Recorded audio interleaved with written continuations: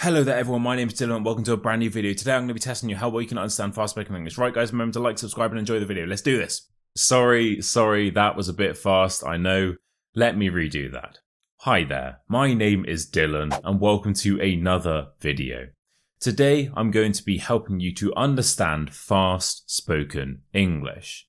So obviously that introduction was a little bit of an exaggeration.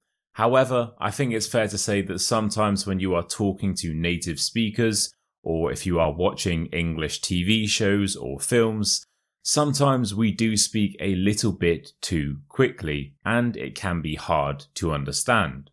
You know, all of the words just start merging together, and your brain goes into early retirement. If that sounds about right, then this is the video for you. So, how does it work? Well, it's quite fun, actually. I'll be reading you some random books at varying speeds, and you just need to listen and then answer a question based on the text. I will start slow and then get faster and faster and faster, and in total, there are 10 questions for you to answer. So feel free to grab a pen and paper if you would like, however, it's not essential. Right, guys, enjoy the video. Number one, and we are going to start slow. I will be reading you a passage from the classic novel One Fish, Two Fish, Red Fish, Blue Fish by Dr. Seuss. So just so you know, throughout this whole video, I'm only going to be reading each passage once. It's not because I'm lazy, it's just because it is better practice for you, and you can always replay it if you'd like to. So, the first question is, how many different colours of fish are there? One fish, two fish, red fish, blue fish, black fish, blue fish, old fish, new fish. Okay, so very tricky stuff, I know. Can you just tell me your answer, please? Yeah, well, if you said there are three different colours of fish, then well done, because you are correct. So we have red fish, blue fish, black fish, and blue fish. Of course, they said bluefish twice, so in total, there are three different colours. Number two, and let's go for one more from this book. So the question is, how many animals have come to cool? I do not like this bed at all. A lot of things have come to cool. A cow, a dog, a cat, a mouse. Oh, what a bed. Oh, what a house. Okay, if you have answered with four, then congratulations, you are correct. We have a cow, a dog, a cat, and a mouse. Right. Let's up the difficulty. Winnie the Pooh. The question is, where was the loud buzzing noise coming from? One day, when he was out walking, he came to an open place in the middle of the forest and in the middle of this place was a large oak tree, and from the top of the tree there came a loud buzzing noise. Winnie the Pooh sat down at the foot of the tree, put his head between his paws, and began to think. So, if you answered by saying that the noise was coming from the top of the tree, then congratulations, because you are correct. In the middle of this place was a large oak tree, and from the top of the tree there came a loud buzzing noise. I wonder what that noise could be. Let's get a bit faster. Question 4 comes from the bear nobody wanted, from Janet and Allan Ahlberg. So we are sticking with the bear theme for now. The question is when you are making a bear, what might you need kapok and wood wool for? So those are both materials, by the way, but what for? This is how a bear was made many years ago. The materials used were brown plush for the fur, velvet or felt for the paws, and strong black thread for the nose and mouth. In addition, the following things were needed one pair of glass eyes, five disc joints for attaching the head, arms, and legs to the body, and lots of kapok or wood wool for the filling. Sometimes an extra item such as a squeaker was included. Ribbons too, usually red and in the form of a bow, were popular then. So, the answer is. Sorry, just bear with me. And lots of kapok or wood wool for the filling. So the filling is what goes inside the bear, by the way. So the bear's innards. Question five, and we are going to do one more from this book.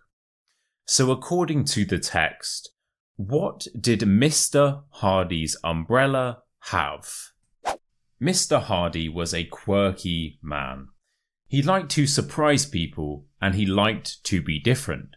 On his desk there was a notice saying, This is a notice. His umbrella had a duck's head handle and his car was green, an unusual colour in those days. He enjoyed a joke and mostly saw the funny side of things. On April Fool's Day, though, he was a man to avoid. Mr. Hardy returned to his office and showed the bear to his secretary. Caught him trying to escape, he said. So Mr. Hardy is a quirky man. He has a green car, a weird notice on his desk, and he also has an umbrella with a duck's head handle. That's cute. I need one of those. It's not actually a duck's head, by the way, it's made out of plastic. I hope, anyway. Right, let's up the difficulty again. Question 6 will be coming from the Daily Stoic by Ryan Holiday. So, which two words does the author use to describe the idea of letting your happiness be determined by things outside of your control? I'm going to give you a little hint here. We're looking for an adjective and then a noun.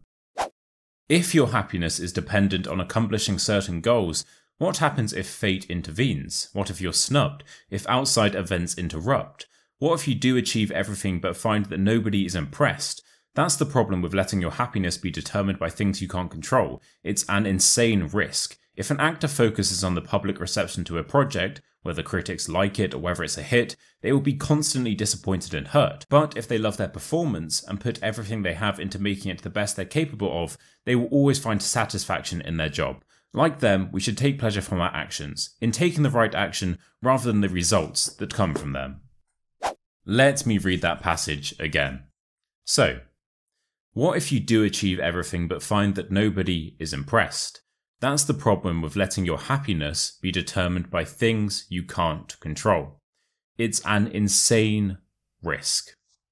So that is the answer. An insane risk. It's very risky. And that is so true as well.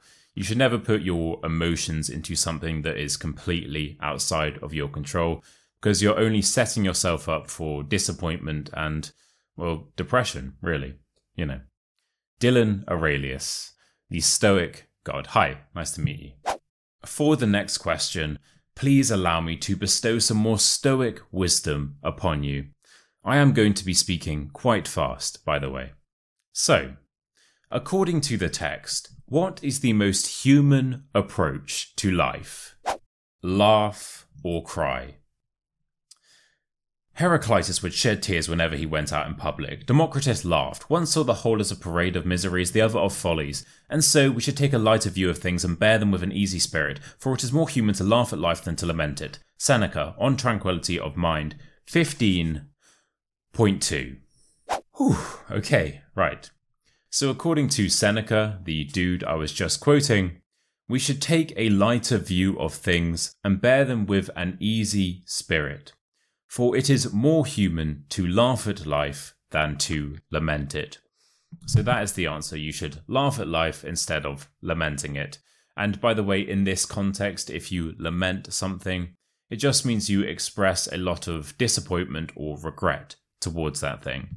This book, by the way, is just full of absolute facts. We should all be living the Stoic lifestyle, really. However, it is a lot easier said than done. I know not everyone can be the stoic god, the stoic brick that I am. But you know, we can try. By the way, this book features a different stoic quote for every day of the year. This video should be coming out on May the 22nd, so please allow me to bestow a final piece of Stoic wisdom upon you. May the 22nd. Today is the day. You get what you deserve. Instead of being a good person today, you choose instead to become one tomorrow. Marcus Aurelius, Meditations. I want you to really think about that, alright? Question 8, and things are getting serious. I will be reading you a passage from The Secret Garden by Frances Hodgson Burnett. I this is just a random book I found. It does look cool though. It's got a nice hardback cover to it, so yeah, enjoy. So the question is, what two things does Mary like about the secret garden? You ready? Okay. The sun shone down for nearly a week on the secret garden. The secret garden was what Mary called it when she was thinking of it. She liked the name, and she liked still more the feeling that when its beautiful old walls shut her in, no one knew where she was. It seemed almost like being shut out of the world in some fairy place. The few books she had read and liked had been fairy story books, and she had read of secret gardens in some of these stories. Sometimes people went to sleep in them for a hundred years, which she thought must be rather stupid. Oh my goodness. Right. So the important part is she liked the name, and she liked still more the feeling that when its beautiful old walls shut in, no one knew where she was. So she likes the name. She likes the fact that these huge walls, um, they're so big and beautiful, and oh my goodness, that was so tiring. Anyway, when she's in, when she's in this secret garden, no one knows where she is, and that is one of the reasons why she likes it. Right, two more questions then, and good luck as I'm going to be speaking rather quickly. So the next passage comes from a book called Dear Tom, written by a man called Tom Courtenay. So this is Tom here, and Mr. Courtenay is a British actor and author. I'll be reading you a letter sent to Tom by his beloved mother. The question is which three adjectives does the mother use to describe how she would feel if she were in the granny's situation. So we are looking for three adjectives. Dear Tom, Christmas is getting near. We're starting the decorating in about two weeks. Your father distempered out the gas cupboard last night. I've been to Granny's this afternoon. The landlord came in. He was playing hell because she wouldn't pay her rent. It is only £2.16 a month. She goes in the club every night of the week. It isn't in her nature to pay her way. She made a cup of tea and never turned her hair. I would have been sick and worried and ashamed. She came out of the house with me and she had to go to the doctor's for tablets for her leg. Do you get that? Right, so we have a granny here who isn't paying her rent. When the landlord came to collect it, in true British fashion, she made him a cup of tea and just completely ignored the subject. No hard conversations to be had. So, the mother said that she would feel sick, worried, and ashamed if she were the granny in that situation. So, sick, worried, and ashamed. Well done if you got that right. Question number 10, which is the final question, and that might be for the best because my throat is starting to get a little bit sore. Anyway, for this final one, I've decided to read a passage from the most British book I could possibly ever think of. So, who could it be? Charles Dickens, William Shakespeare, J.K. Rowling, maybe some Jane Austen? No, no, no, none of that, none of that. I am going to be reading from the 2021 National Trust Handbook, mate. So, the National Trust is a charity in the UK who basically look after and maintain historic landmarks and just nice green spaces around the country. The whole point is that if they do this, then the future generations can also enjoy them. They are pretty much one of the most British organisations that I could ever think of. Anyway, we are going to be reading about a place called Greenway in the southwest of England. The question is What is the significance of the Dart estuary and the boathouse? Greenway. Greenway Road, Galmpton, near Brixham, Devon. TQ5 0ES. You ready? Okay. Here you are given a glimpse into the lives of the famous author Agatha Christie and her family. Their holiday home is set in the 1950s where Greenway overflowed with friends and family gathered together for holidays and Christmas. The family were great collectors. The houses bring with their books, archaeology, Tunbridge ware, silver and porcelain. The informal woodland garden drifts towards the hillside towards the Dart estuary and the boathouse, scene of the crime in Dead Man's Folly. Please consider green ways to travel here. Ferry, courtesy vehicle available from Quay, cycling or walking. Note, booking essential for parking. Right, so the significance of the Dart estuary and the boathouse is that it was the scene of the crime in Dead Man's Folly, which is a very famous Agatha Christie novel. So, the informal woodland garden drifts down the hillside towards the Dart estuary and the boathouse, scene of the crime in Dead Man's Folly. So I guess Agatha Christie would come to this lovely place in the 1950s and would write some of her best work there, which which is nice, of course. So we're going to end this very arduous and um, book filled video with a big old shout out to the one and only Agatha Christie. Right, guys, and there we have it. Thank you so much for watching today's video. I do hope you enjoyed it. If you did, why not consider liking the video and maybe subscribing to the channel as well? Both of those things are massively appreciated why not comment below and let me know what your favorite book from today's video was as well. We have we've had quite a few good ones. Winnie the Pooh, uh, Secret Garden. This was a good one. The Bear Nobody Wanted. Um, National Trust, of course, and you know my personal favorite, Dr. Seuss. One fish, two fish, red fish, blue fish. This has got to be the best one for me. I'm not too sure how it ends. When I do finally finish reading it, I will let you know. Right, guys, this video has absolutely taken it out of me. So cheers for watching, and I will see you um some I don't know next video. Bye.